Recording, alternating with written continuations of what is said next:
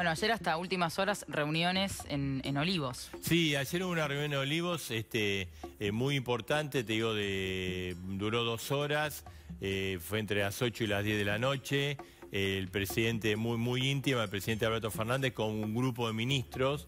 Estaba Santiago Cafiero, estaba Guado de Pedro, estaba Ginés González García y otros colaboradores. Tema cuarentena. Claro, el que, el que más pesa, digamos, es la opinión de Ginés González García. Sí, pero mira, la información que yo tengo es que sabe de todos esos, o sea, porque había más. Yo te menciono cuatro, pero había más. Sí. Eh, ¿Sabés quién es el que tenía la posición más dura o más extrema en el sentido de que hay que continuar con la cuarentena, eh, hay que ser estricto, lo más estricto posible, está dando resultado, no podemos aflojar.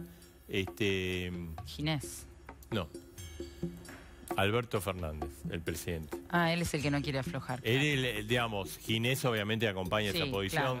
Hay toda una bueno, porque él siempre pone por delante el tema de la salud, lo dijo desde, la primera conferencia, desde el primer anuncio del decreto, lo que dijo fue que por delante estaba la salud que no se podía recuperar una vida, pero sí se puede recuperar un empleo, básicamente. no, y además, eh, vos fíjate que en los últimos días eh, de la jefatura de gabinete, a través de comunicadores, amigos y demás, eh, planteó todo el tema de vamos a la cuarentena focalizada. Sí, ¿qué significa eso? Porque estamos... Anoche Alberto Fernández eso lo descartó.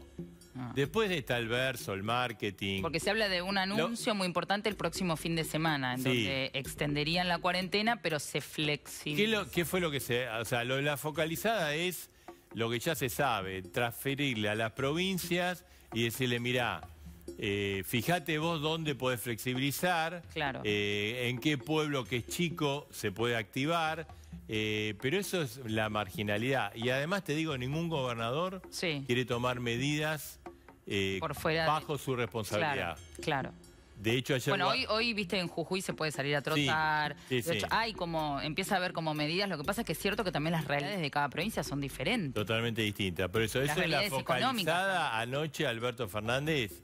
Por ahora... igual es, también nos tomamos con la... No es que hay, ayer se tomó una decisión. Ayer se evaluó eh, un, plan de extender una semana. Sí. Descartado, porque extender una semana implicaría que en una semana más el, presidente tiene que volver a tomar una decisión. Cada decisión es como una frustración para los argentinos, ¿no? o sea, nos cuidamos, pero a su vez eh, seguimos la cuarentena que se hace pesada. O sea, y la otra opción es extenderlo 15 días, hasta el 10 de, de mayo, que es la que está ganando posición. Igual, ¿qué es lo que se quedó anoche? Va a haber consultas individuales con los gobernadores, hoy, mañana, el viernes.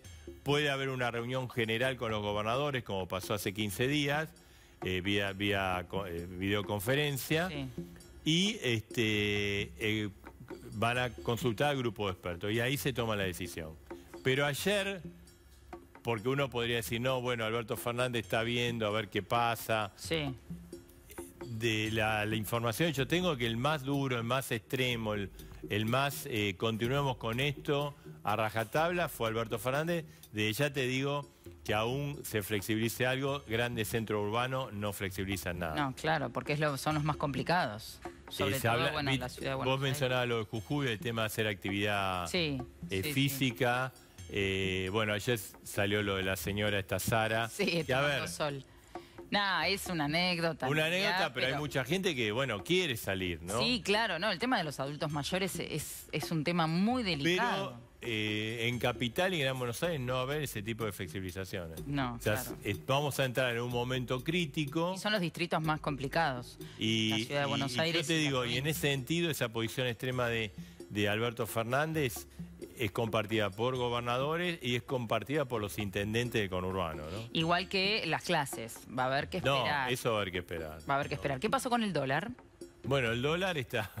Bueno, eh, a ver... Bajó, me vas a decir, bajó, está a 14 pesos. ah, no. en materia de, eh, de deuda externa, suba el dólar. Estuvo, subió un poquito, eh, llegó el Blue 107.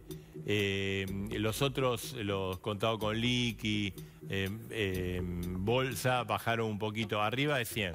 Sí. O como que están en otro, viste, antes estaban en 80 y pico, después pasaron a 90 es como ahora el piso es 100 pesos, ¿no? Esto, digamos, no afecta, el, no tendría que afectar... Eso te iba a preguntar, ¿en el qué tema inflacionario, no mm, tendría que afectar, mm, digo, sí.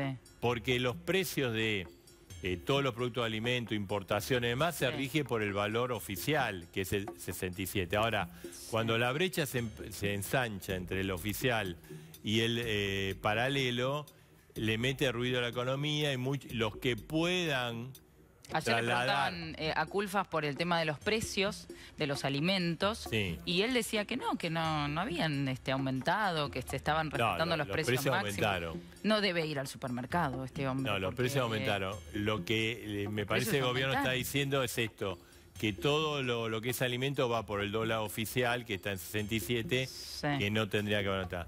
Es cierto también, digamos, eh, hay un factor inflacionario en la emisión monetaria que es el único mecanismo que tiene Argentina hoy. Eh, estamos tan mal para resolver eh, la crisis, eh, distribuir dinero a través de la emisión. Mm.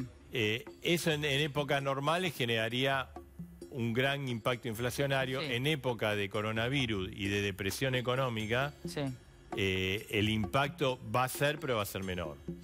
Tendría que eh, ser así, ¿no? Por la otra interna te quiero preguntar, Máximo Kirchner contra los bancos. Sí, eh, a ver, eh, también en una reunión, no la de ayer, en otra reunión de Olivos,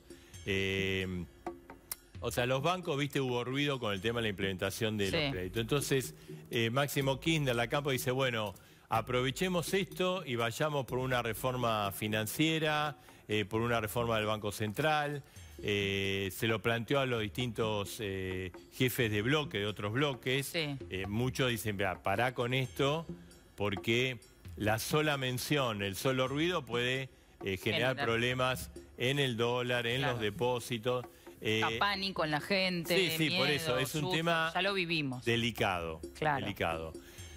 Guzmán está de acuerdo. Pese, el presidente del Banco Central dice, ojo, es un delirio esto.